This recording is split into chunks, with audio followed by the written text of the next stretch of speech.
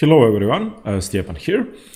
Uh, this is the first video on the Sicilian defense, uh, besides the, the introductory one I made a few days ago. And first of all, if you're unfamiliar with the theory of the Sicilian defense, the ideas behind the move c5 and the, the variations which can occur and the uh, sort of main lines like the Najdorf the Dragon, etc. I would recommend you watch the introductory video first. I will put the link in the description below. And now we are going to focus on the accelerated dragon. This is the variation I decided to start with because it seems to be one of the most popular ways for, uh, for black to, to fight white. Uh, I will also link uh, two games I have played against the Accelerated Dragon last month, uh, one of them in the Croatian Cup, actually both of them in the Croatian Cup. Uh, and in one, I had an easy victory because my opponent uh, didn't really know the theory, and in another one, I won despite making a theoretical mistake. So you, I think you can learn something from those games. I will also uh, write down some of the prominent players who play the uh, Accelerated Dragon on a super high level, so you can uh, study their games. Okay, uh, first of all, let's get to the position in which the accelerated dragon occurs. So after e4 by white, c5 the Sicilian, knight to f3. Uh, this is what the uh, accelerated dragon branches out from. After knight to c3, it isn't really possible to, to enter the accelerated dragon. Same uh, can be applied, the same can be said about uh, pawn to c3. So now, now knight to c6. Uh, if black plays d6, then once again, it's really I'm not sure if it's impossible to enter the accelerated dragon, but I, I think it might be. So now d4, c takes d4, knight takes d4, and now g6. This is the accelerated dragon, and uh, the, the, the Sicilian dragon is where black fianchettos the bishop, and then plays the move d6, knight to f6, and uh, starts to create an attack along the queen side while uh, defending against a kingside onslaught by white on the h and the g files. And this variation is just a faster version of that, and with the move g6, black is basically giving up his uh, attacking plan for the game and uh, giving white uh, an opportunity to decide how he's going to approach his attack. Now there are three moves that white could play here. Uh, firstly, the I'm going to go over the most passive move and that's the exchange variation, the accelerated dragon, and that's simply taking on c6. Now once you take on c6, you have given uh, black a positional advantage and after black takes with the b pawn of course uh, nobody is going to take with the d pawn and he takes he captures the pawn towards the center now we can see that black has uh, Okay, I'm sorry. There's a cannon in my town that goes off uh, every day at noon, and uh, I get startled every time, and everybody does. So, okay, that was the cannon.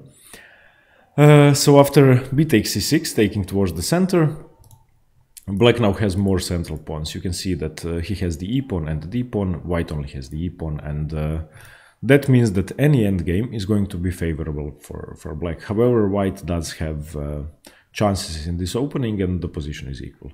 The main move for white here is exploiting the weak diagonal which uh, is weakened with the move g6 and white should play queen to d4 attacking the rook. Now after the, uh, queen to d4 knight to f6 is the main move and now e5 chasing the knight away.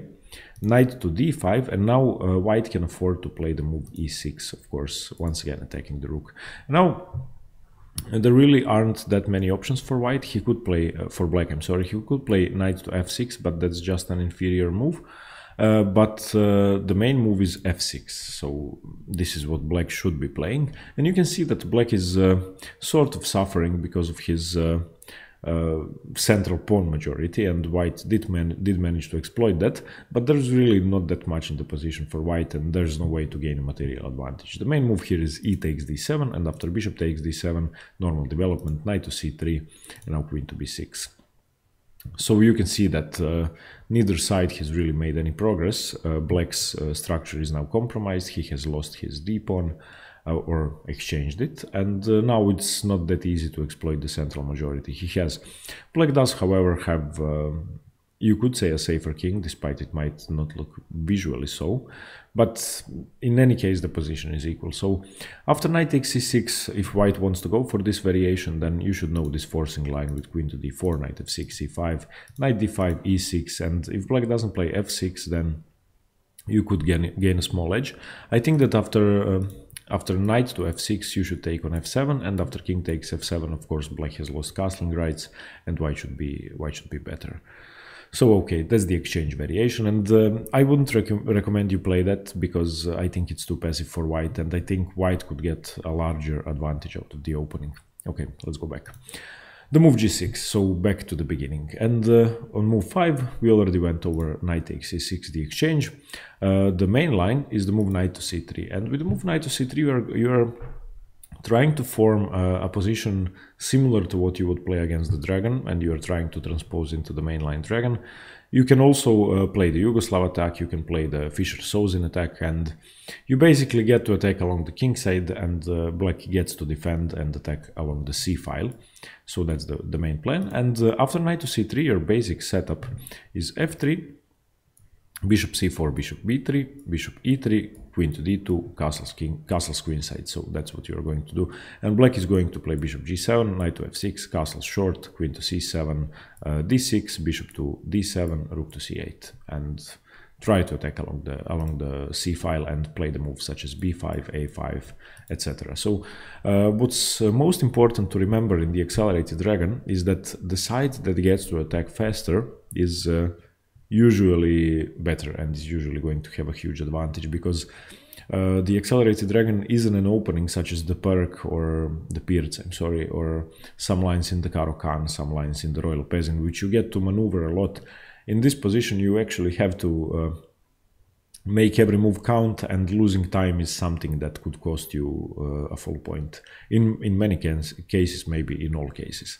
So after knight to c3 both sides should should uh, go on with their plans as soon as possible. So bishop to g7 bishop e3 knight to f6 bishop to c4 castles bishop to b3 so these are the first few moves. So after bishop g7 first develop your dark squared bishop. Uh, knight to f6 that move has to be played bishop to c4 castles and now you don't have to play bishop to b3 but you are going to have to play it anyway so moving the bishop is in advance is a good is a good idea you could also play f3 you could play queen to d2 both moves are okay but bishop to b3 is just the main move now black here has uh, has a couple of options. Uh, there are two main moves. I would say that the that the best move here is the move d6, even though that's not the most commonly played move. So I'm, I'm going to go over the most commonly played move first and uh, that's the move a5. Now the move a5 uh, is very aggressive uh, and it's planning to chase the chase the bishop away from the square and to capture the the e5 the e4 pawn. Because once you advance the pawn to a4 the the e4 pawn is going to fall. So after castles which is the main move for white a4 knight takes a4 knight takes e4 you have just traded your flank pawn uh, for white's central pawn, the only remaining central pawn. So now we have an even larger positional advantage should an endgame occur. But you have just uh, ruined your pawn structure, you have activated white's pieces a bit more, your knight is misplaced on e4, and it's not really that clear that this bishop uh, is any worse than black's rooks. I would say that it's even better, and I would say that this is the best piece on the board, board uh, now at the moment. So I think that uh, black shouldn't really be playing a5 because now after a move such as knight to b5, uh, d6, I think that white uh, white has an edge. So I, I, think that the move a5 isn't as good. However, it is the main move. So if uh, great players have played it, then it must be okay. I'm just going to show you uh, I'm just going to go over some positions. Okay, the highest rated game is Almasi Zoltan versus Kramnik, Anand Malakhov, Timofeyev, Wang Yue, Svidler Peter. So a lot of great players have played it. Perhaps, uh, perhaps I'm wrong, but I, I, think that the move d6 is uh, more solid in this position.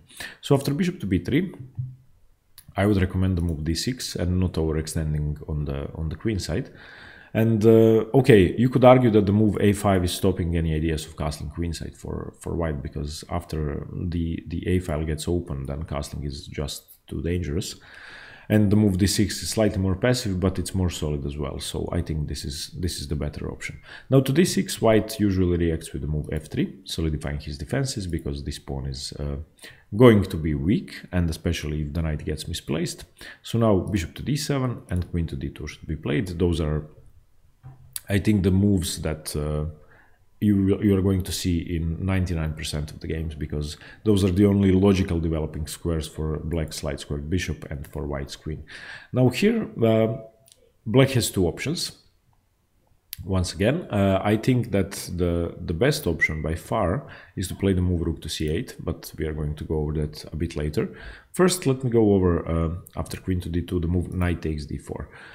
Now, uh, if you take on d4, then of course after bishop takes, you have just uh, given white uh, a greater possibility to exchange your main defender and uh, exchanging your dark squared bishop in the dragon or the accelerated dragon or the hyper accelerated dragon is never really a good idea because if your dark squared bishop falls then it becomes really hard to defend.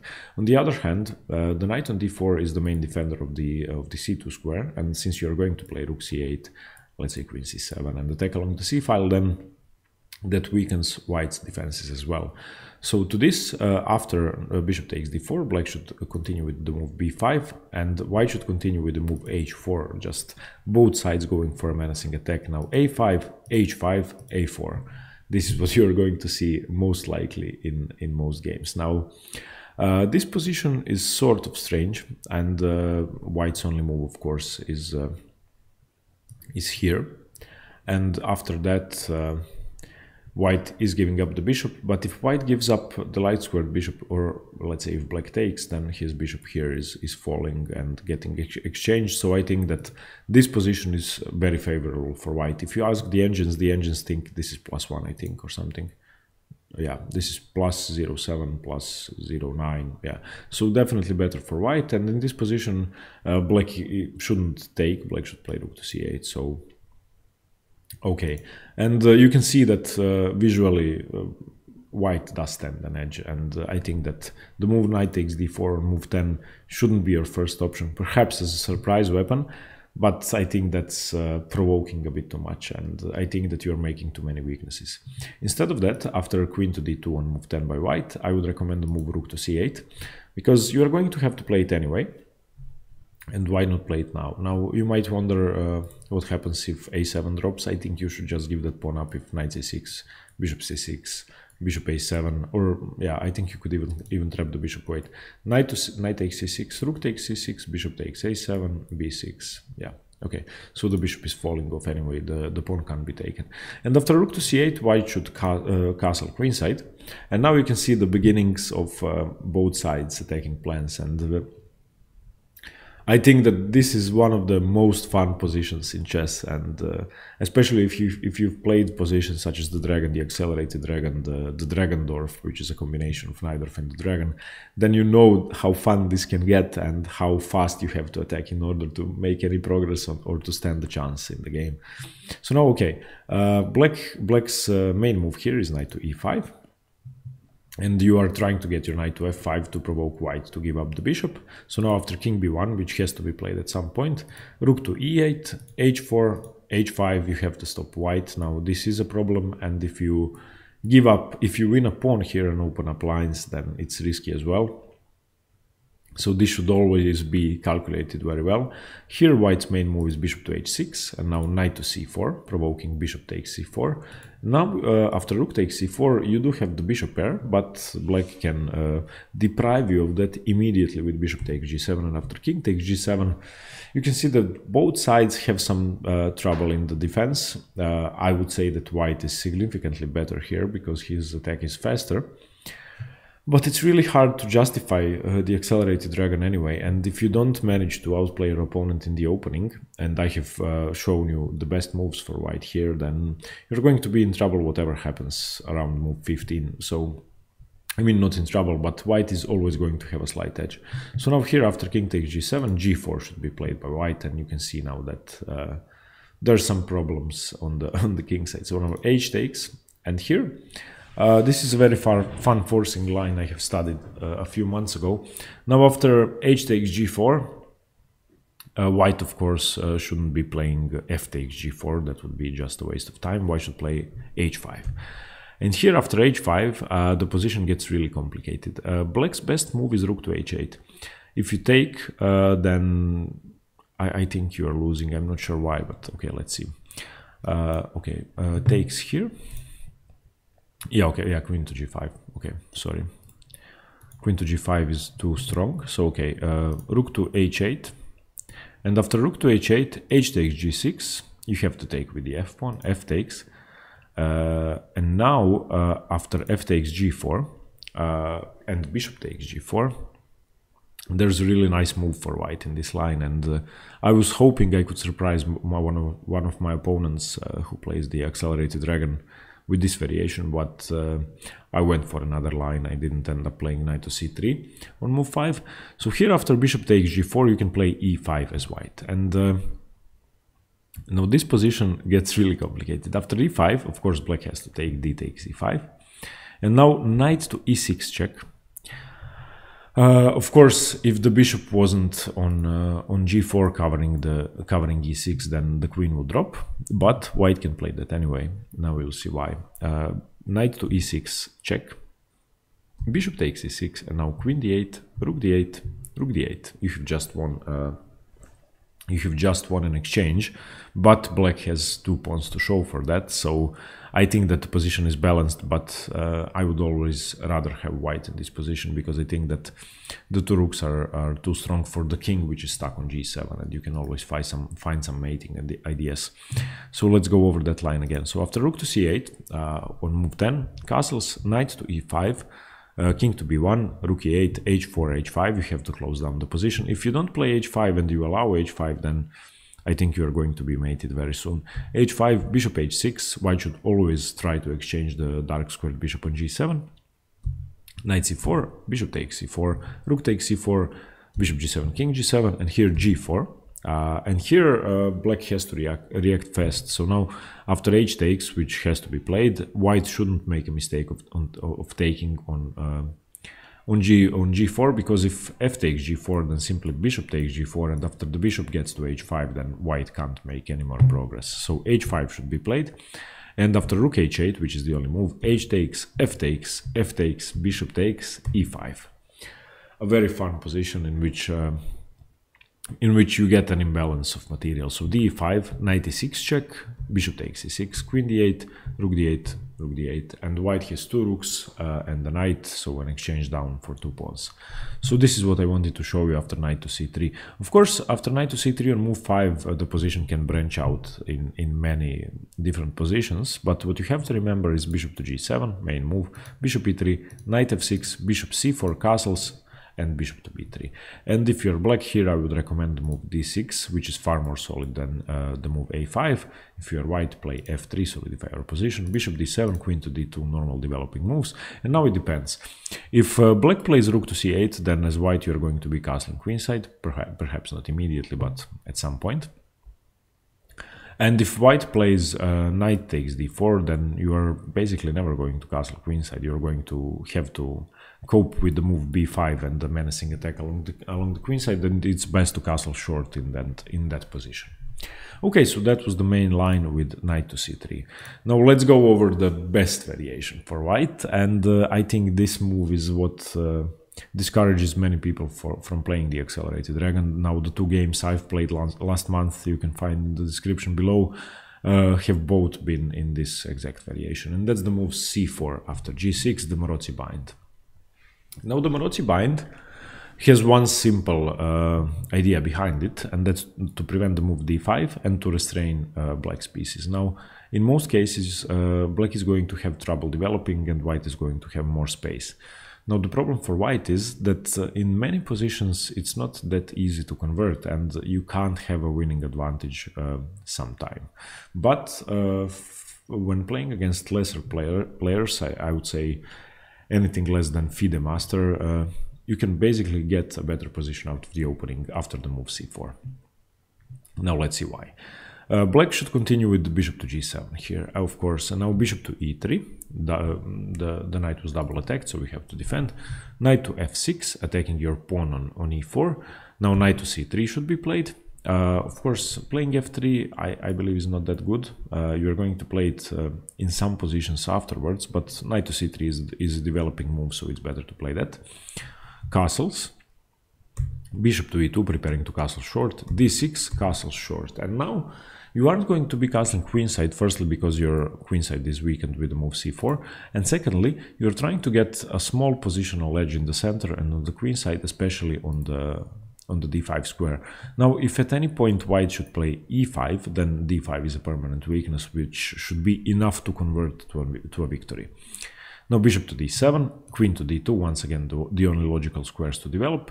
And here in this position black is best advised to take, so knight takes d4, bishop takes d4, and now bishop to c6. And this is the starting position of the accelerated dragon, and I believe that this position is going to occur in any game in which the players are rated over 1500 and this far you have to know the theory. And now uh, what's that good for white in this position? Now the engines would give this uh, as about 0.9 for white which isn't really uh, true. Isn't, your advantage isn't that big but it's just easier to play. Now white's main problem in the position is the bishop on e2 which isn't really active especially after the move f3 which is going to have to be played. And the main problem for black is that his pieces are basically restrained. The knight on f6 doesn't have any good squares. You're never going to be able to play d5. If you play a rook on c8, then I can play b3, and black has uh, far less attacking ideas than white. Now let's continue. f3, this is the main move. a5, trying to gain space, uh, gain space on the on the queen side, and this is perhaps the most active plan. Now b3 should be played to stop a4 knight to d7, trying to control the squares c5 and d5. Uh, and that's probably the, the best plan for, for black. And in this position, trading the bishop off isn't really that good. I mean, white shouldn't be taking on, on g7 because you can't get uh, a fast attack uh, attack as you as you can in the other lines because your king is stuck on g1, so you can't really play g4, h4, h5, etc. So to this, uh, white should uh, give up, white should um, decline the, the trade and play bishop to e3, and now knight to c5 should be should be played by black. And now once again, uh, the games could branch out in many different ways. Uh, the the position you have to remember is is this setup for white with the pawns on g2, f3, e4, c4, b3, a2. And this is the structure that you are going to be playing if you go for the Maroczy bind against the accelerated dragon. And I would say that uh, this structure is much favorable for white because it's just easier to play. It's not that hard uh, to maneuver your pieces. You have a lot of time, uh, unlike in the main line.